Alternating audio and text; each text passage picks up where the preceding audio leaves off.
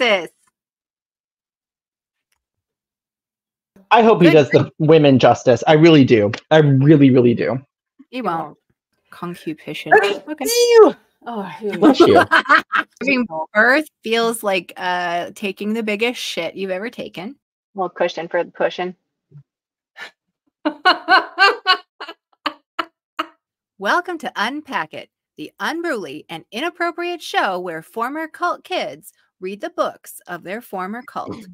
I'm Patty, and with me is my sister Nancy. She and I make a podcast called The Apostate Sisters here on YouTube. And for this show, we collaborate with our good friend Joel. He makes a channel on YouTube and on TikTok called Mr. Difficult. And today, we might finally be getting to the juicy parts of the book we've been going through The Missing Dimension in Sex by one Herbert W. Armstrong, who we just love to talk about. So, shall we get started, my friends? yes. I'm ready. I'm ready for the foreplay to end. Yes. Yeah, I'm starting to get a little raw. So, let's just get this done. All right, beginning of chapter nine. Man has produced many highly complicated mechanisms out of matter he has appropriated from the ground. This huge, intricately designed modern newspaper and magazine presses bring exclamations of amazement from visitors seeing one for the first time. I am reminded of this because we have a number of these big magazine presses in our enlarged printing plants in Radlett, England, and North Sydney in Australia, and previously in Pasadena, California. Who else is getting Trump vibes right now? Like, Oh, totally. talk about things on such a grand scale. Like this was huge. You wouldn't believe the number of people. It was the it was the most people I've ever seen in anything. I'm sorry, I'm getting off topic again, but that that's very much what small-minded and small wienered men do.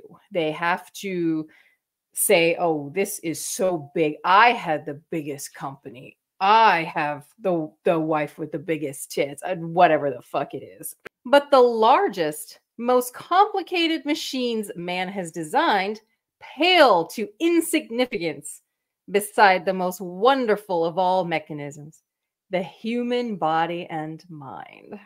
Specifically, the penis.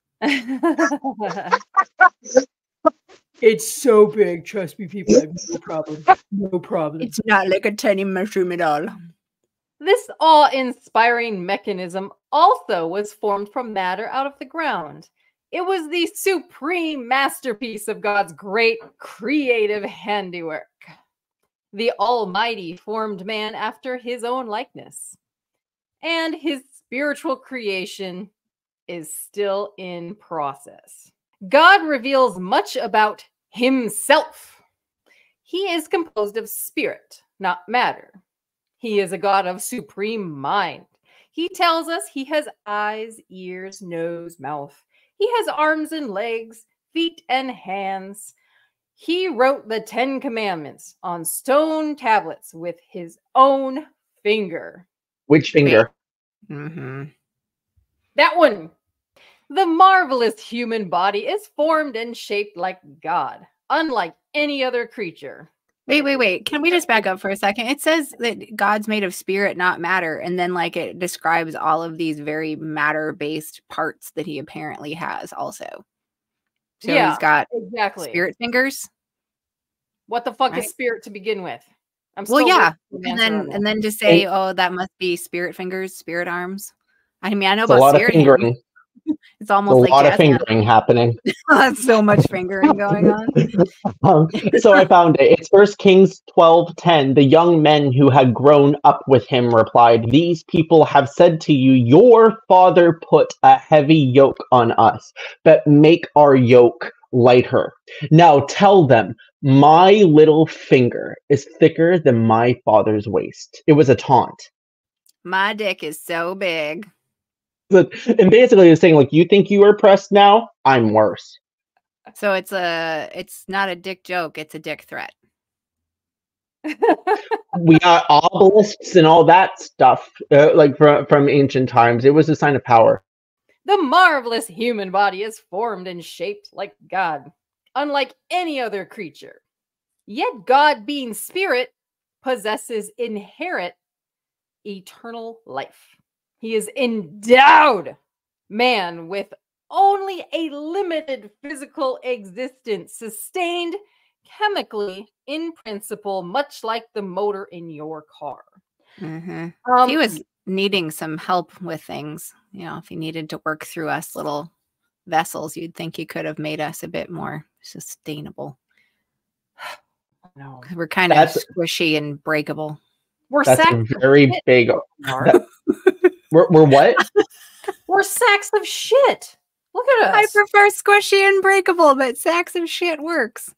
That's very true. I mean, like at the very bottom of our stack is a bunch of shit. So God designed in the human body two basic types of systems. Ooh, let's see. One is the life-sustaining apparatus. This includes the highly complicated digestive, circulatory, respiratory, and other systems. These are coordinated in functioning by the nervous system, which in turn is directly connected with the mind. The other basic system is the genital or sex system, making humans male and female. It serves to perpetuate not the individual, but the race. But it also generates love and a desire to marry a certain one, and stimulates marital love to preserve the home and family. This genital system, too, is connected by the nervous system directly with the mind. These two general systems serve different purposes, yet there is a connection between the two. The genital exercises, excuse me, the genital apparatus exercises a considerable influence on the life sustaining functions. The female sex hormones cause a woman's body and mind to be feminine. The male sex hormones cause a man's body and mind to be masculine. Also, there is a closer analogy between male and female sex organs and sex functioning that is generally understood. It is the genital system that we need here to describe. Here we go.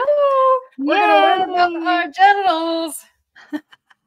we shall use in this description of sex anatomy and functioning the medical or scientific terminology. I strongly urge all parents to learn these terms and to use them in teaching their children. Oh, our parents did that. Yeah, they did. Mine too. Kudos Mine to too. That's true. Uh, uh, I, I think parents should always use the correct terms for our body parts. Yes, yes. Agreed. I, So I many don't good reasons.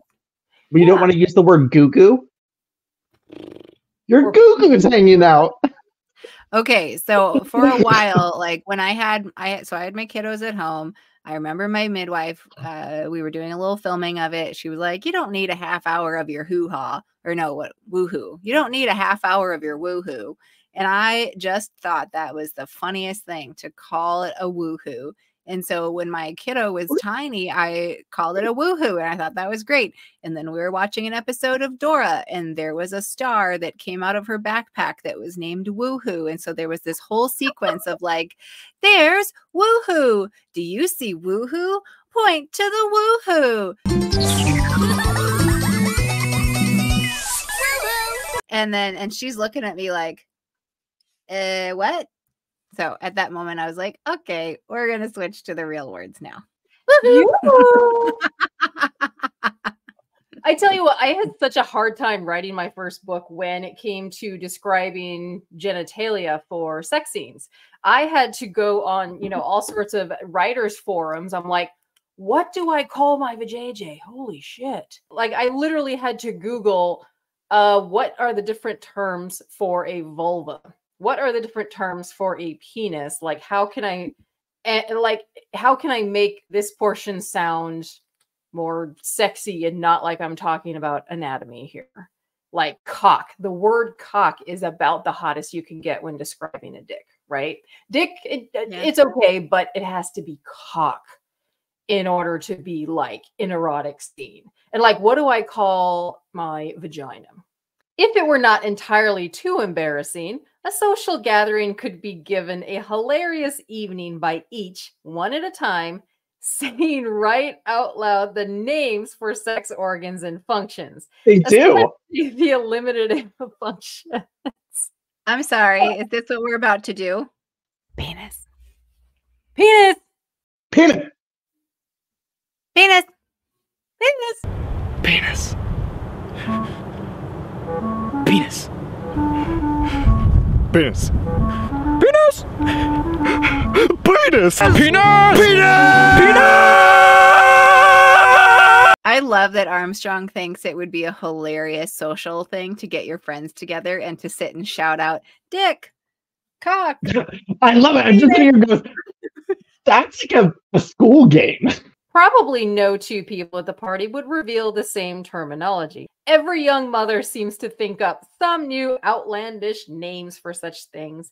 It becomes a sort of secret language, like rusty trombone or a dirty Sanchez. Italian sausage. Are you saying Armstrong would have loved Urban Dictionary? if I might, at this point, be permitted one digression intended to be humorous. If, I may get all y'all's permission. Mm. I should like to mention the cute saying of a year and a half old little girl. Her mother had tried to break her of bedwetting by making a shaming face and uttering a sound something like k k. Am I saying that right? Yeah. I don't know. I don't know. It just, or, I don't know.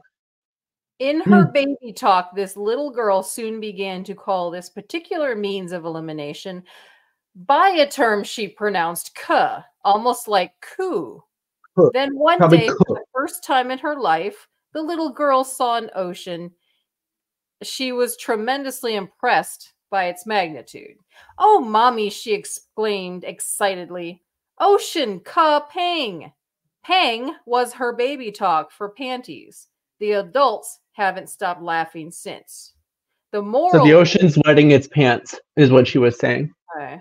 The mm. moral is children should be taught the proper professional terms rather than some weird terminology of your own devising. I mean, yeah, I get that, but as an as children, yeah, they have to be taught what the actual terms are, but as adults we can be super immature and, you know, come up with new terms for shit like this.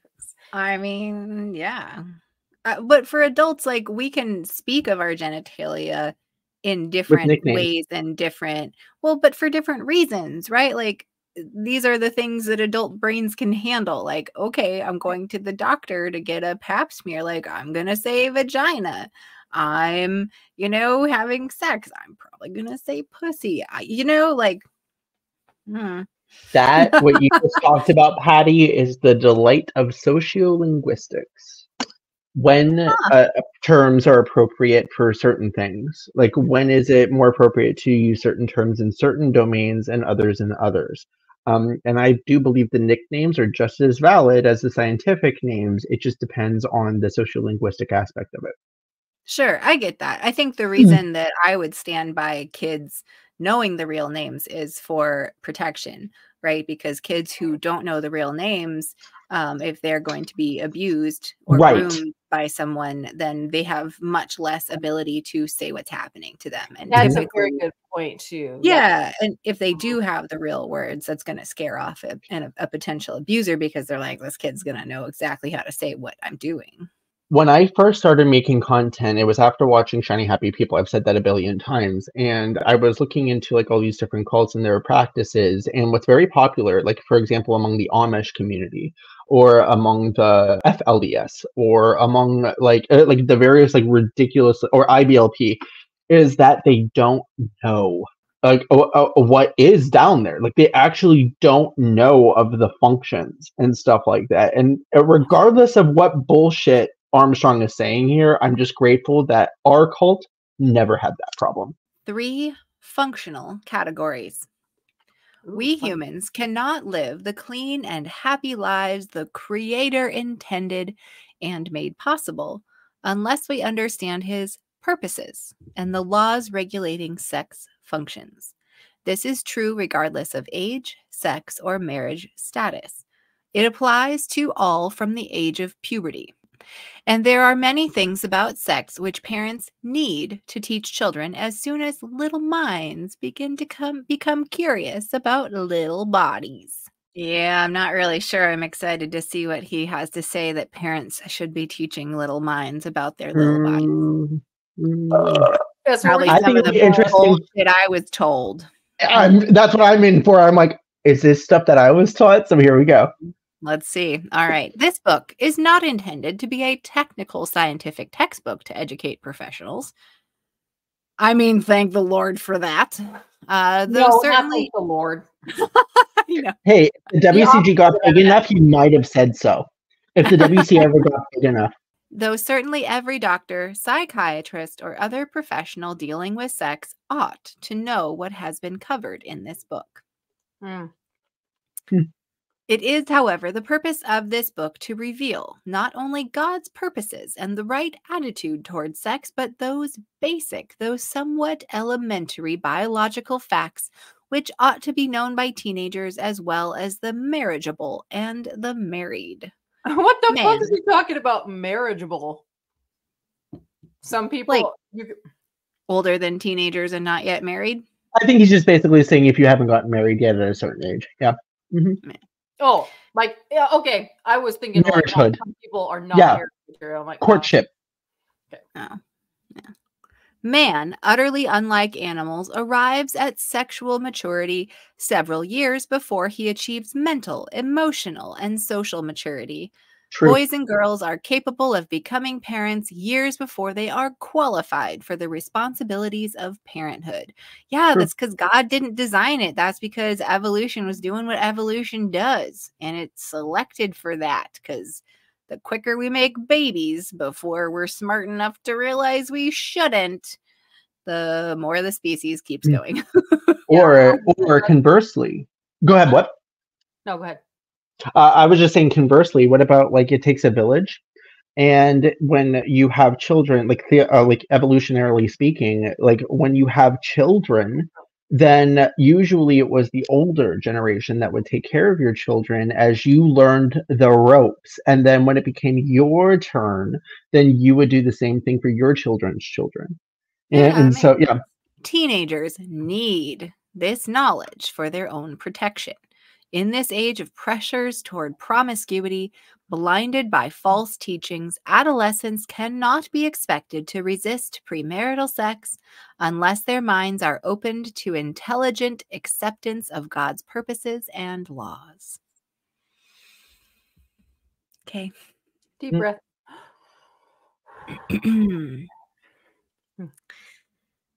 also, all married people need this knowledge if their marriages are to be preserved in happiness. Because I know the way, guys. It is the lack of this knowledge which has caused 90% of all marital unhappiness, contention, separation, and divorce. Good. None Divorce is not necessarily a bad thing. Nope. No, it has its place. Come on now. None can understand what he needs to know without an elementary knowledge of the anatomy of sex organs, as well as some knowledge of sex stimuli and sex functioning. And so we approach here the necessary knowledge of anatomy and functioning in a manner quite different from that which has been commonly used. The genital system is composed of three functional categories. I'm going to say this is probably not in scientific terms at all. These are one, glands. These produce the germinal cells and the hormones. In the male, these glands are called testes or testicles, and in the female, ovaries. Testy, testy, One, One, two. two, three. three. the thing is that there's more than just those glands. You also have mm-hmm. the prostate gland. You also have the pituitary gland. You also have yeah. There's a lot of glands, but you were saying that he doesn't use scientific terms. He actually is. He just doesn't go all the way. Yeah, Yep. that's fair. That's fair. I mean, I guess just to say that it's three functional categories, I was feeling like you kind of made that part up. Two, ducts, not with a K, ducts. These tubes transport the germinating cells from testes and ovaries and render possible fertilization. In the male, they are the vasa efferentia. Huh. I think interesting. I don't actually know that one. The epididymis, the vas deferens, and the ejaculatory duct and the urethra. Without looking it up, the- I do believe the vasa efferentia is the is within the testy, if I remember correctly. I'm going to take a look. Okay. Go ahead. Yeah, weird. I, vas deferens I'm familiar with, but and and the epididymis, but the vasa efferentia was new to me. Uh, in the female, there are the fallopian tubes or oviducts through which the ovum is carried from the ovary to the uterus. Three organs of copulation. Through these, the male germinal cells, called spermatozoa, reach the ovum for fertilization. These organs are in the male, the penis, and in the female, the vagina. The fertilized ovum remains in the female uterus or womb, where it is nourished and developed sufficiently to be born. Do the pelvic muscles contract with females too? I think they do. Uh, when you have an orgasm? orgasm? Oh, yeah. yes. Is it? Mm. Okay, so it's the same. Okay. Yeah. And so so we have the same. What? When I was pregnant, when I was pregnant, you know, my uh, uterus grows like a hundred times bigger than its normal size when you're Mhm. pregnant. And uh, Mm-hmm. when I was pregnant and had an orgasm, my whole uterus would go tight, like tight Mm. and squeeze. It was very. I mean, the uterus was huge. It was a very strange sensation. I heard. I heard that pregnant sex is some of the most pleasurable for a woman. It can be good. Also, when I was pregnant, when I had an orgasm, I cried. I, It was Oh. like it was like I wasn't sad. I wasn't any particular emotion, but I just Release. Completely over. Yes, yes, just the release of needing to like sob my eyes out. I happened. think it's beautiful, Pat. I mean, yeah, it kind of freaked out my husband at the time because he's like, "Are you okay?" but then after a while, we just figured out that's what happens. What You should apparently when I have pregnancy hormones going. I have a question uh, about the female anatomy. This is actually a legit question. Um, Mm. so when a male has an orgasm, so the the muscles will it, it feels like a pushing.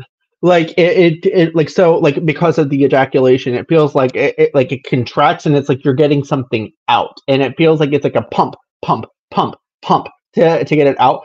Does it what does it like the sensation of the contraction of the muscles actually feel like in, in the in the female body? Does it feel like a, a pump bringing something in? Or does it feel like more it- it's just like a type of like a, a thing? Because like for us it's like it's more like the pushing it out feeling. Hmm. I wouldn't say it's like a bringing it in feeling, but there's definitely like like a really strong orgasm can kind of make the v- vaginal muscles do almost like a m- milking, like bringing it in. yeah I've heard about that right right and so that's why I, I was wondering was because it's like i wonder if it's like biologically that way for like the pushing in and then like for the recept uh, uh, for the receiving of it um because like like it is the yeah it just feels like when, when you're ejaculating it actually feels like every contraction is like you getting that stuff out of you it, it, it really feels like it's exiting and i don't know if that's the same feeling you get when you give birth like getting it out that might be the same feeling that we get with the the, the male orgasm Okay, so giving birth feels like uh taking the biggest shit you've ever taken. okay All right, it does. Uh, there's more to it, but that sensation's there. Um, but I will reason for the say for things like female ejaculation, uh, I don't know that there's exactly a push feeling in the way you're describing, and it would be a different place of pushing than the birthing process anyway. Um, but I would say it's more of a like, well, this is just for me, I guess. I can't say for other women, but it also might be different between pre- people as well i'm sure go ahead exactly Mm. um but for me that feeling of the ejaculation is more like just like a letting go. Mm, it's less of a push and more of just a like sorry but like an opening and It- a it- release. it reminds me of like for me personally it reminds me of like when you have like a, a a bottle of toothpaste and it's like you're going push push push to get more of that toothpaste out. That's what it feels like. Hmm. so yeah. That's amazing, Joel. I have never heard it described that way. Yeah Um, now I'll have to consciously think about it. You can ask Simon if that's the same for him as well. But like to me, it's like a, a bottle of toothpaste, say that you have at the bottom of the base of toothpaste, and it's going pushing it out, and then something comes out, and then it kind of like pushes again and pushes again and pushes again until it's all out from that location of the bottle of toothpaste. So it's So- like a relief in that sense. So like get that Right, exactly. Oh. Exactly. It expels it. Yep.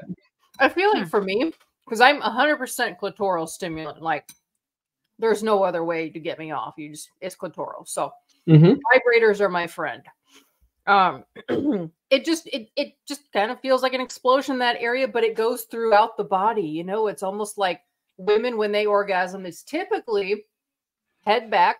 Your, your toes can curl and you're just kind of you arch your back you're just like oh you just this feeling that goes throughout our entire body and then you have that really smooth groovy after an orgasm where you're just like oh it was so great but at the same time you almost feel like you didn't get it all you know like it, like you got to go again that's why 10 orgasms in a row no problem for a woman until you're just like you, you could just keep going and going like i'm ready for more dude it's almost like we don't get like the same sense of relief off of one orgasm we have to keep going we have Mm, to keep going okay. all of a sudden it's, it just intensifies with that next one you know It's true. What? I, I think I feel like that sense of release does happen though if the the ejaculation happens. Hmm, what Like, Like if, if I you actually work up enough to do that. Oh. Okay. yeah. female ejaculation whatever the fuck that is Pets. good for you mhm. jealous But Yeah, usually that's you're at the end of like being in the place you're talking about, like that orgasm cloud of just like just keeps going. It's that's like at the end of being in that place for a while. Hmm. Mhm. Yeah, like for me, I don't I don't pre cum at all unless I've been edging for a while.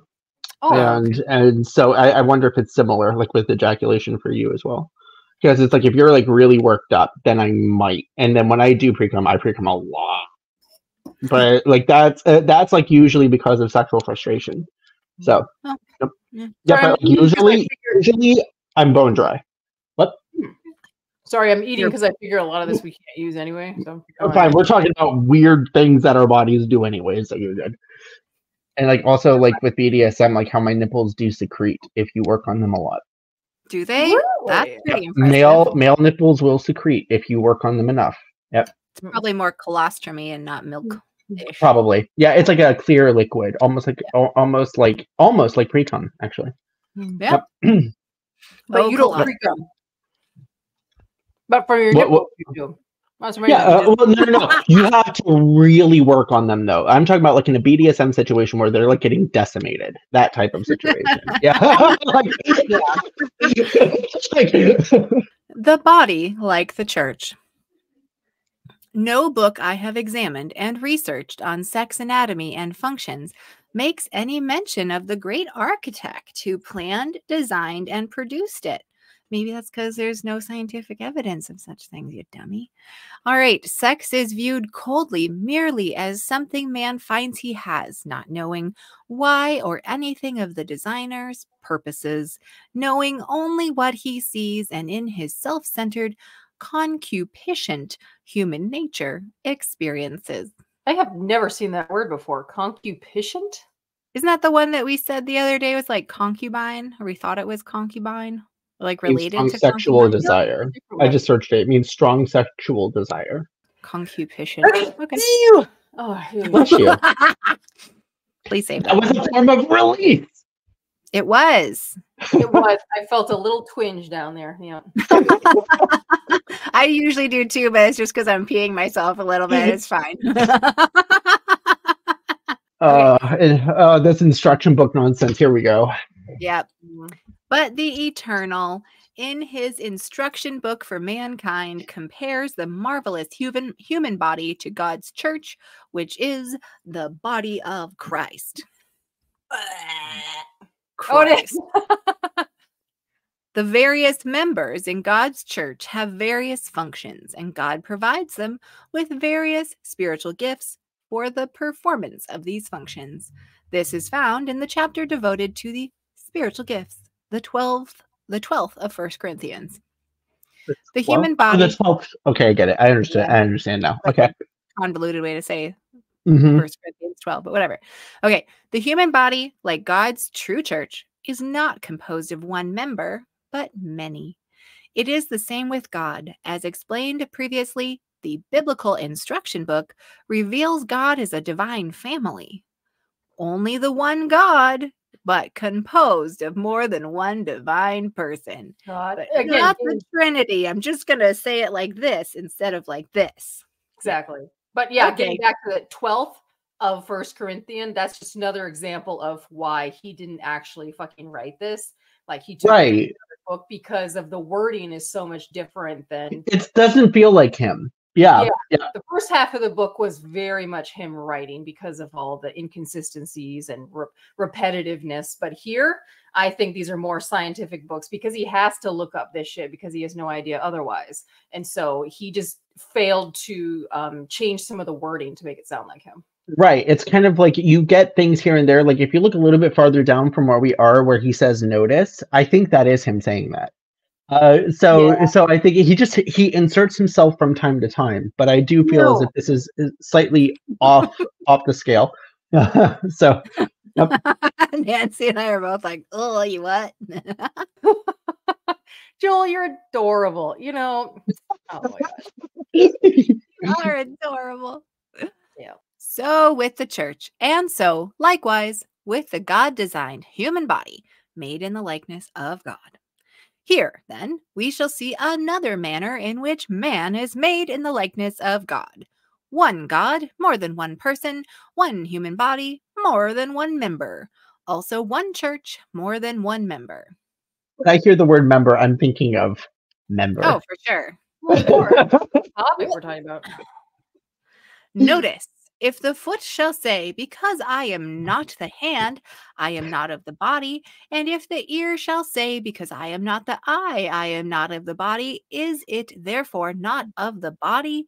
If the whole body were an eye, where were the hearing? If the whole were hearing, where were the smelling? But now hath God set the members, every one of them, in the body as it hath pleased him. Mm. okay. What? Pleasing God. For that second coming, Joel. Yep. He hath God set the members, every one of them in the body. He set the members in the body as it hath pleased him. I'm sure I'm sure it did please him. So he put your prostate behind a fleshy wall. Yes. Yes. Yeah. Yep. But then it's amazing when I get there. Awesome.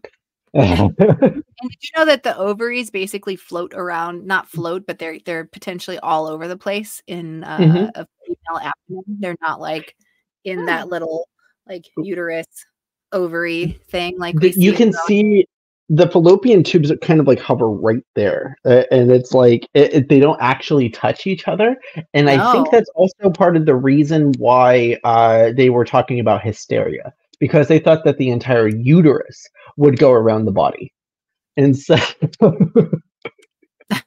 so stupid. I guess. I- Okay. For whatever reason, doctors didn't uh, dig apart female bodies when they were learning anatomy. I still, it's a problem in uh, medical studies and things. It's very strange. Yep. and also people of different ethno backgrounds Yep. Yes. Right. And about like how the assumption is that black people have thicker skin. Oh that just bothers me so much. Or So- don't feel pain. yeah that's the point because of their their quote unquote thick skin. I can't. Like when i hear shit like that i'm like oh that is horrible. And then and then we chastise uh, that same community when we say things like uh, it goes oh what, because how often do people of that community talk about how much pain they're in or how they don't have that great access to medical care and then and then we say they're hypochondriacs but we as a medical the, the systemic problem is we think that they should handle better pain A- and, it's like the oh uh, it just mm, Right. They're not believed when they do go. right they're not What's going on? Well, women aren't believed either in general. So imagine for a woman of color. I can't. So apparently, it was God who designed and set the sex apparatus in the physical human body as it hath pleased him. we got a So- second coming Uh, it's obvious right there. If we wonder why the amusement park is near the garbage dump. It's because that's what God wanted. It pleased him.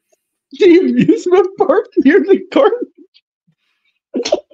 I've heard that before, but It's not my line. It's not my line. Uh, the, the woman who played the woman who played Pat on Saturday Night Live, uh, she did a speech about talking to her kid about sex stuff, and that was her. That was her line about amusement. park, Wasn't but she? Isn't she also like uh, a disillusioned uh, former Christian as well? I think so. Yeah. Then let us learn what we need to know about them without false modesty or foolish prudery. But as Amen. God, as God would have us know. Follow this 12th chapter of First Corinthians a little further. The stern, harsh prudes who formulated a false so called Christian ethic about sex said of the genital system, We have no need of thee. Okay. God rebukes them, and they should, even in those early centuries, have read his rebuke. Here it is, beginning verse 21. Hmm? I have no need of these. I know. Yeah, I'm just gonna pretend they don't exist, except somehow we keep making babies. I don't know. We must be using them when we don't realize it. Magic. What? Magic. Ah, it must have been the Or magic sheet. The magic like, sheet. reading- The whole. Those medieval manuscripts.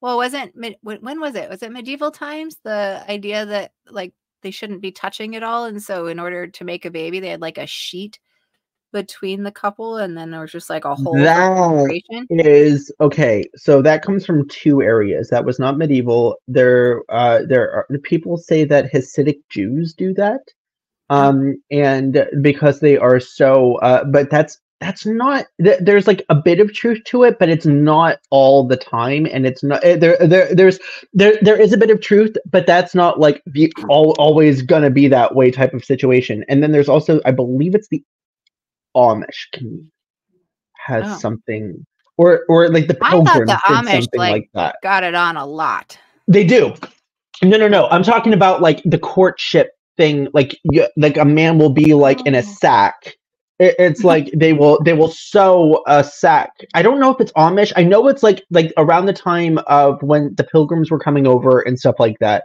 they would actually bind men and let them sleep in the woman's bed but without any physical activity to like get them used to the concept of sleeping together. Um and so they would so they would bind them in like a almost like a pillowcase um and and i think that also was like the beginning of like the concept of cutting a hole in the blanket or something like that Oh. so there was like a there's like a, and the people do associate that with the hasidics but they don't really do that because it's just that they aren't allowed to touch each other they're not allowed to touch each other during certain times like such as during menstruation and stuff like that Oh. Yep. Like a woman will not touch her husband unless it's a certain circumstance like she's not even allowed to like reach over the table and touch him but when they're alone with one another they can it's like Okay. that Okay. and they think it like it, it, it uh heightens the the sexual tension so that way when they do go to bed together they'll have they'll be swinging from the chandeliers so yeah so I because suppose. you can't touch. Can't touch can't touch now we can touch Yeah, I mean there is there is some fun to that, I suppose. I guess the way I'd heard about it was the idea that the sheet between was intended so that there wasn't so that the procreation could occur, but there wasn't like pleasure thrusting. bodies Right. touching. you know? Right. And I think it was a misnomer or only like a certain group did it or something, but people associate that definitely today with the Hasidics, but I they don't do that Huh. really. Weird. I don't think I've ever heard it associated with Hasidics. I definitely thought it was more of a puritanical Christian thing from way back when, but sort of non-specific. So maybe it's not real. Yeah. Okay. Cool. Stereotype. Yeah, yeah, probably. Uh, here it is, beginning verse 21. And the eye cannot say unto the hand, I have no need of thee, nor again the head to the feet, I have no need of you. Nay, much more those members of the body which seem to be more feeble, the Moffat translation says rather Yeah. delicate or dishonorable, are necessary. And those members of the body which we think to be less honorable, sex, really? Why do we think the sex organs to be Oh, less honorable? honorable. Fuck all Can't the be. way off. Yeah, fuck all the way off. All ancient societies had it turned the other way. They thought those were the parts to be Like- right. mm, like make Right. much of those. a lot of them. There's actually a very mm. specific word in Hebrew for one of those. Yes. oh, really? hmm You Mm-hmm. Yeah, I have a think- pillar that can hold up a structure, or a pillar that just stands by itself. Oh, well then. Well, yeah. I mean, I think for most of human history, we've we've glorified our sex organs rather than vilified. Mhm. So, Yeah. Um, let's see. Upon these we bestow more abundant honor, and our uncomely parts have more abundant comeliness. I What is he saying? Nay, okay. much more those members of the body. So no, the So members of the verse- body which seem more feeble are necessary, and those members of the body which we think are less honorable, the sex ones, but we as we bestow them more abundant honor. I don't understand. I'm pulling up. I'm pulling up my own translation of the my personally uh, my NLT version because I really like the way that it flows. So I'll read it. Uh, he said verse 21. Oh, I see. It's a Bible verse. Yeah. I can't Uh, understand what it the- means. The eye can never say to the hand, I don't need you. The head can't say to the feet, I don't need you. In fact, some parts of the body that seem weakest and that seem weakest and least important are actually the most necessary. And the parts we Okay. regard as less honorable, that we regard as less honorable, are those we clothe with the greatest care. So we carefully protect those parts that should not be seen. I, actually like the Corinthians version of it, like how it how it reads. It's just like, Hmm. yeah, it actually is very, very important. That's why we protect it more. Or because it hurts when they get schmucked. Right, but I mean, even with women, like women don't, don't uh, it doesn't really unless you like land right on the clitoris. It's not really gonna uh, really do much of anything. So- I guess. I don't know. Yeah. also, those the our crotchy areas like leak stuff. So, you know. I honestly, and I'll, I'll repeat it again. I think when we get kicked in the balls, it's like period pain. I really do think so. I think it's the same pain because it's like the pain that you excrete from your ovaries. What are what are our ovaries? It's our testes. So it's the same. Yeah. I, I think it's the same pain. Okay, I could see it. When we come to consider the human body from the mind of God, we see it not as something shameful and evil, but as something wonderful, to be understood with clean and healthy minds, in awe of the handiwork of the great designer. For this is what God beheld when he had formed it and pronounced very good. I mean, I also think that our junk is kind of funny looking, and I think that's fine and fun. Uh, I, I know, I I, I serious about these things. Have fun with it. So I've seen like compilations of pictures of uh, of like uh, of how the same body part looks among like a whole collection. It seems to me, and I could be wrong because I'm just not like because of my um formerly prudish nature. I I don't I'm not able to recognize it. But it seems as if there's more variance in those parts than in other parts of the body, because there is a lot of variance in genitalia. Um, and it's like, but although you have different shapes and sizes of nose and shapes and sizes of eyes, so I don't know if it's just me like not having been exposed to to seeing because of my prudish nature before. Then I'm like, oh, there is a variety because there's Well, a variety of human faces. So Yeah. That's what I'm wondering too. Because I that's so funny that you say that because I feel like I had that same thought just the other day of like maybe they all do look really different, but our other body parts don't. But they probably do. We're just used to seeing the broad range of different noses. And mhm. if everyone had their cocks out all the time, we'd probably just be like, yeah, that's normal.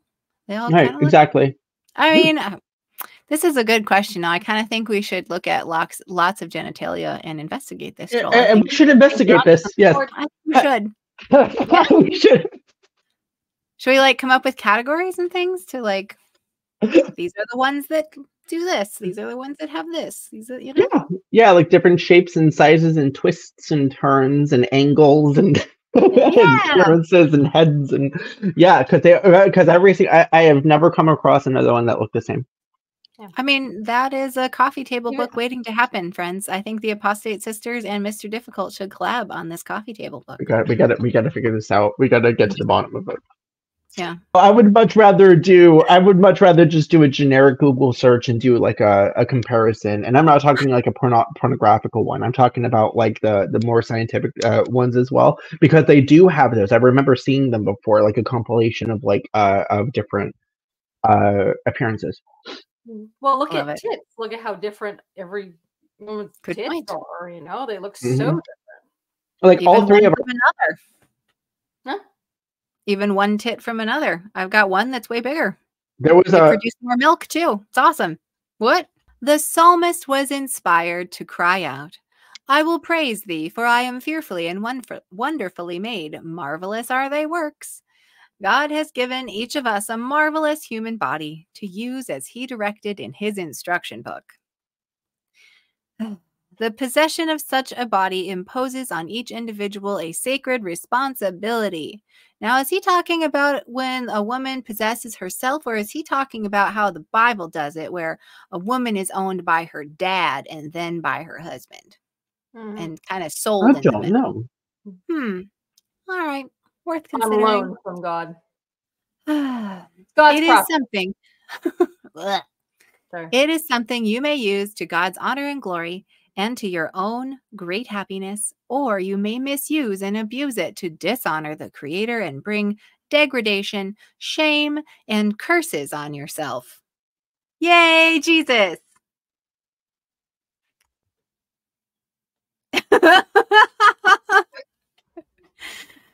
okay, well, I think uh, theology. I know, right? Uh, good thing it's the next section because this one is the oh, it's about me. Oh, It's about you. Joel. It's all about me. Okay. So, all right, let's do it. All right. First, then, we examine the masculine genital organs. God says through Paul, those physical organs of the body which humans regard as more uncommon. Oh, we just read this. Uh, uh, he has made very necessary with honor. And he continues, yes, God has tempered the body together with a special dignity for the inferior or uncomely parts, so that Ah. there may be no disunion in the body, but that the various members should have a common concern for one another. And notice I read the NLT version, which I think put it much more succinctly and much more um, uh, acceptable. like much more acceptably. Uh, and all this is compared to God's church, the body of Christ. It may seem to many that the most uncomely parts of the male body are those organs we now explain first the germinal glands called testicles.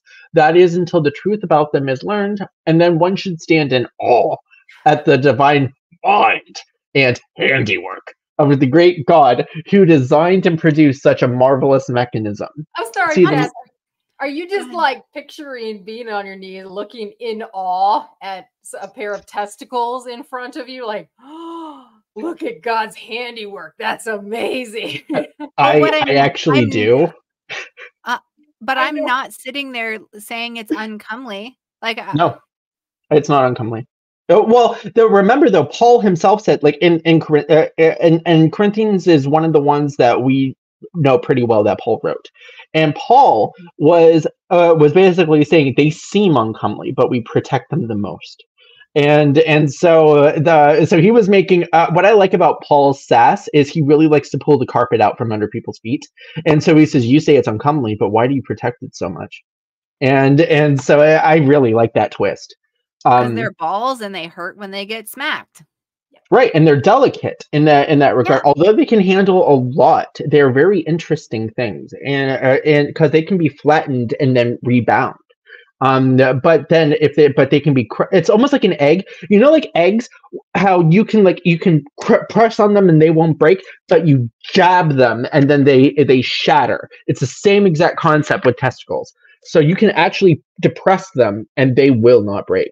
Um, and it's really amazing. So it, it- it's anyway. But if Then you enough of poke that. them, they shatter. They can. If you poke them really fast with a certain amount of pounds per square inch, they can rupture. Yep. Ah. Pat, do you remember that movie you and I both used to love watching while you were sleeping with Sandra Bullock? the That's a the good one. pencil scene where she talks about Peter has one testicle because she remembers that dude that was talking about. Oh, I, I was in the middle of a game and I had a pencil in my in my pocket. Yep. Mm-hmm. Great movie. Oh no! Yeah. Well, the thing is, though, if you only have one, what they do now is you just put something else in there to make it look appropriate, kind of like a breast implant. But um, But the- why? They're balls. But, you know. I've come across I've come across guys who had in um inflators put inside of their shaft because they were unable to maintain an erection, so they actually have Oh, yeah. balloons inside of them and stuff like that, like actually inside of them, surgically implanted.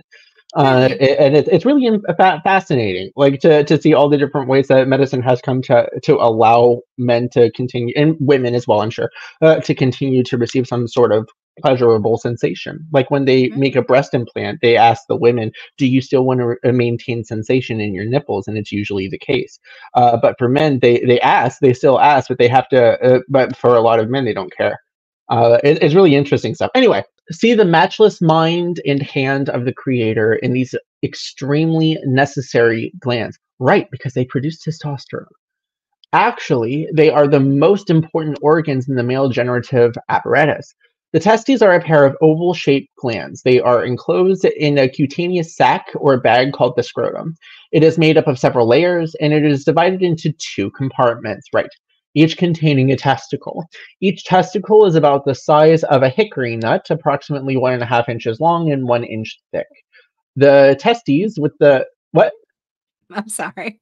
Um, okay, so there's this series on there's this series on YouTube that's like Norwegian sex ed oh called yeah. I heard- Pubertetten.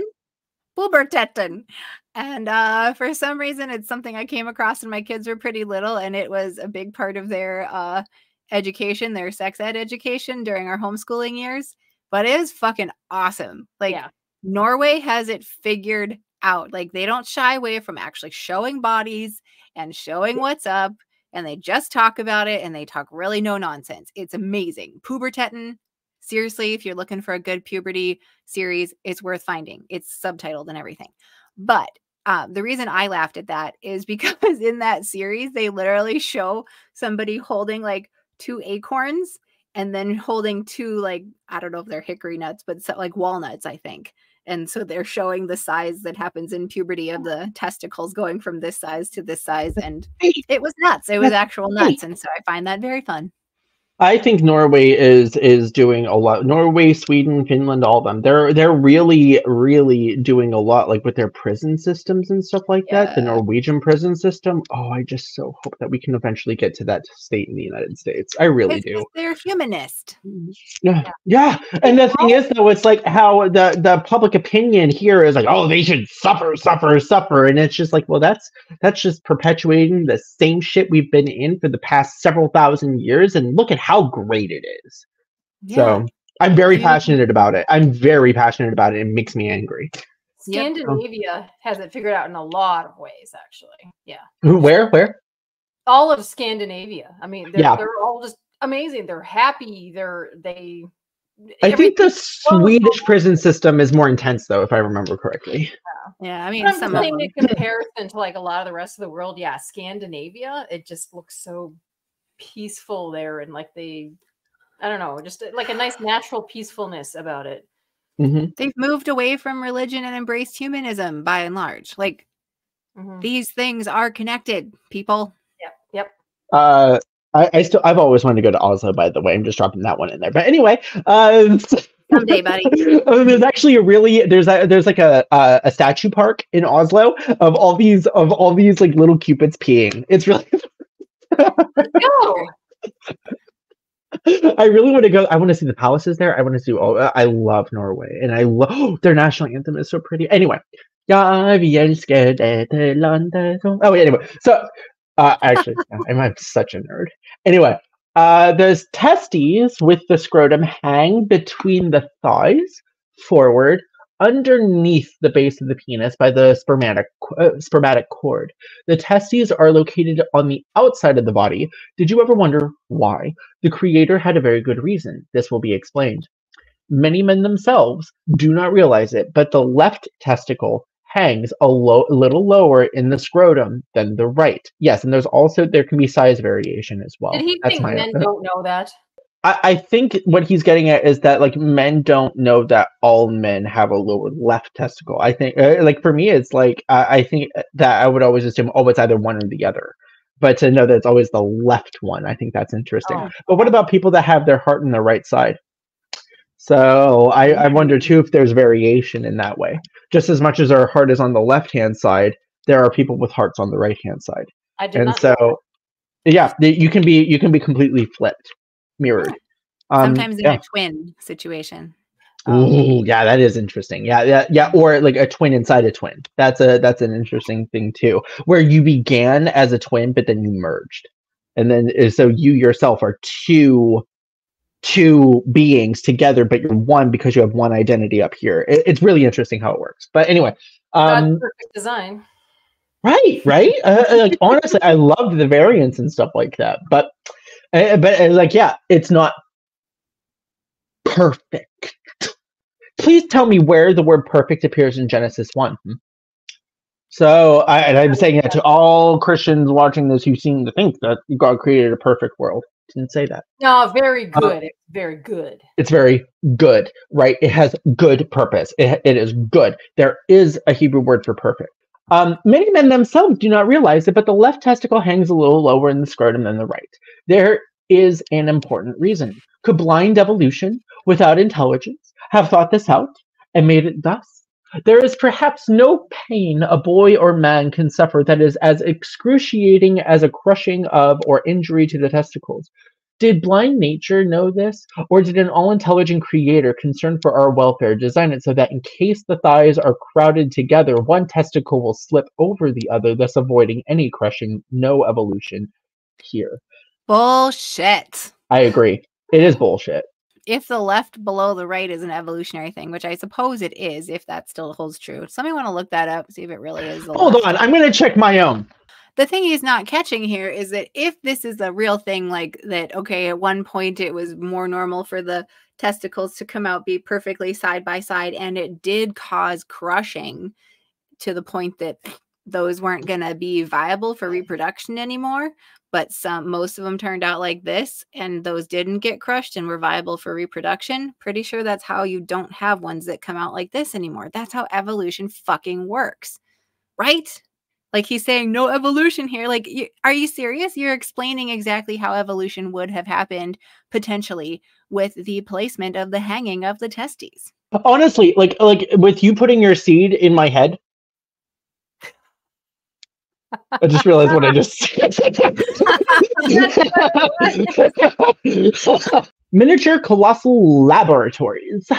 When we understand what science tells us about these glands, we ought to be struck with amazement, small as they are.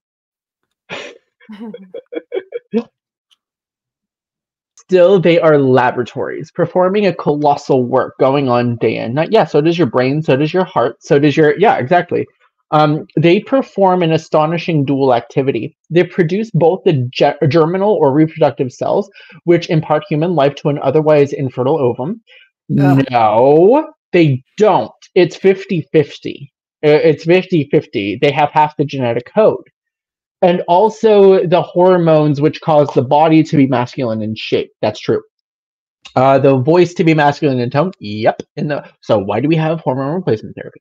A- and the mind to be masculine in its thinking. And that's an incredible job to be performed by two small factories weighing less than one ounce, uh, an ounce each.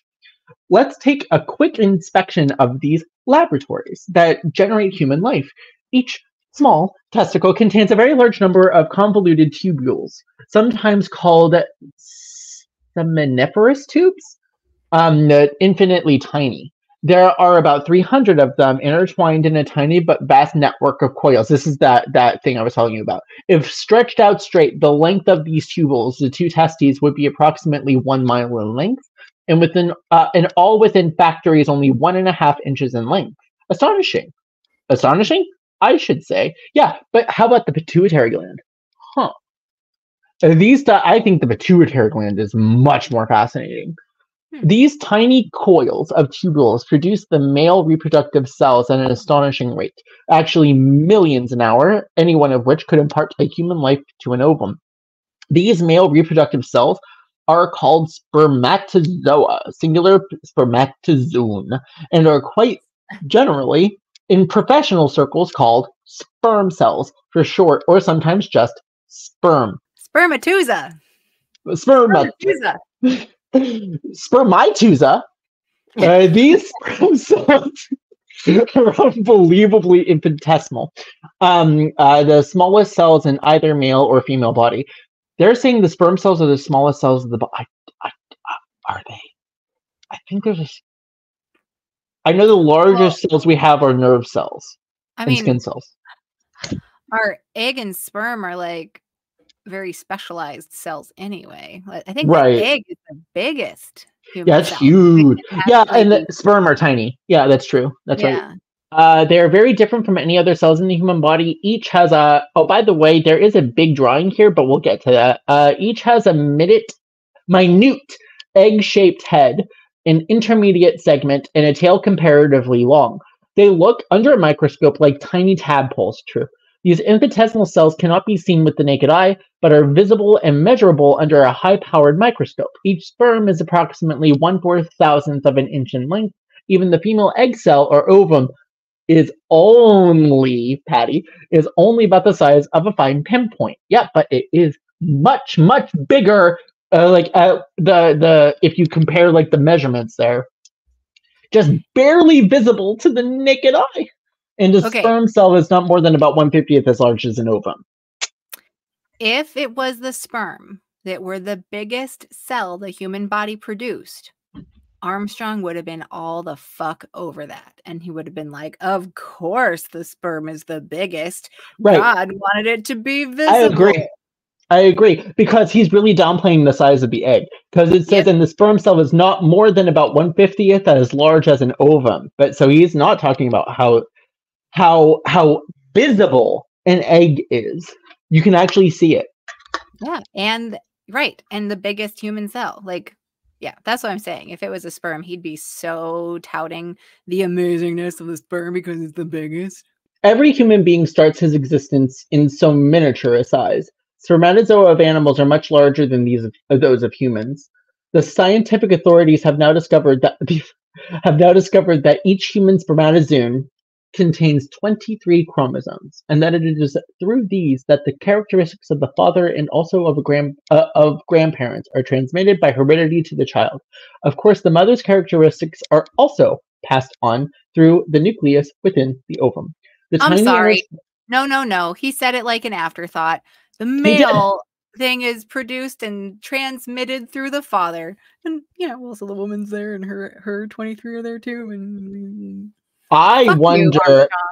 is he going to completely disregard the whole concept of pregnancy and how that is such an amazing thing that women can do? Oh, That he's gonna uh, say God does it. Isn't it an amazing thing that God that- does? and that Yeah. and that they have it in pain because that's that's their just reward. And so, uh, uh, the anyway, uh, of course, the mother's care. Okay, the tiny intertwined tubules within each testicle in which the spermatozoa are produced are so narrow that a hair could not pass through them.